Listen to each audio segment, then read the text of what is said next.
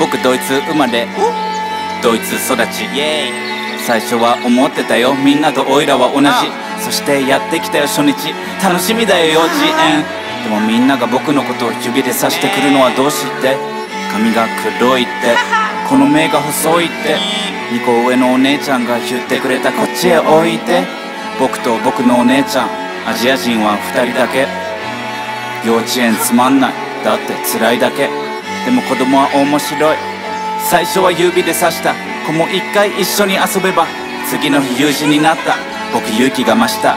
一緒に遊ぼうそう口に出した。そして日が暮れるまで遊ぶ僕らに夕日が差した。人の心が読めるわけなんてないわけで人は人を傷つけまた傷つけられるだけ。でも僕を傷つけた。あの子は今は友達で。僕を傷つける人から今は守ってくれて。人は変われると信じてる。だって僕はこの目で見ている。人は変われると信じてる。僕とあなたも分かち合える。確かにさ分かんないかもね、うん、差別される気持ちされたことがなければ全然知らない人に。僕だってやってたかもね。こっちで育っていれば差別は辛かったけれどその分だけ優しくなれた。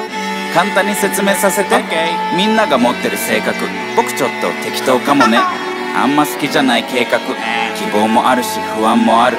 たまにめっちゃ孤独でも自分の好きなとこはオープンな思考と努力。でもそれを全てまとめられる国籍と外見で僕はクソジャップ。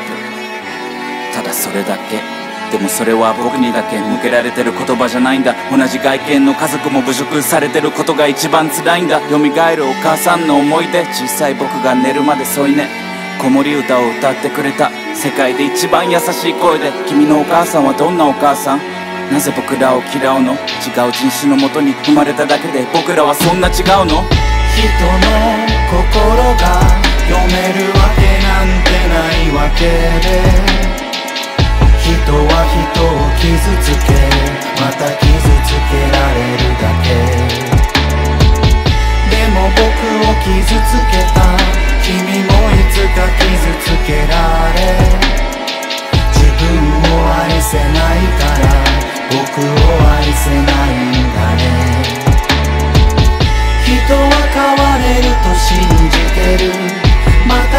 しい気持ちになれる人は変われると信じてる。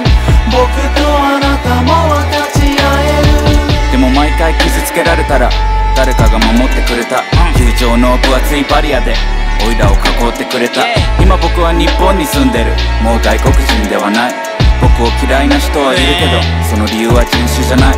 そしてテレビで見かけるのは日本大好き外国人日本って本当に素敵。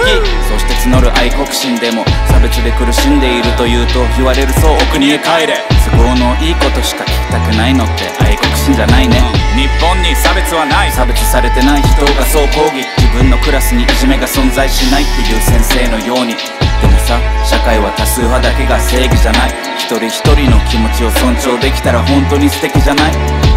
みんな恋したらキュンキュンするしさ。褒められたらなんだか嬉しい。ありがとう。そう言われるとなるよね優しい気持ち。でも愛されなかったり傷つけられたりするとさもうさ人生も自分も嫌いになり誰かを憎みたくなるもんさ。ヘイトスピーチってよく言うけどさ本当のヘイトは自分に対して僕らを好きになってとは言わない。でも少なくても自分を愛してみんな頑張って生きてる。もう傷つけ合うのはやめよう。愛し合おう。気遣おう。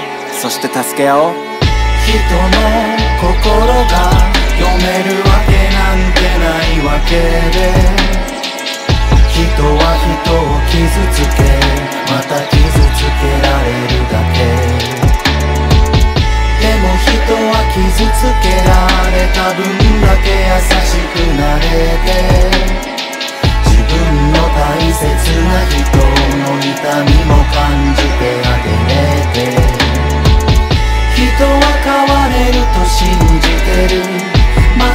優しい気持ちになれる。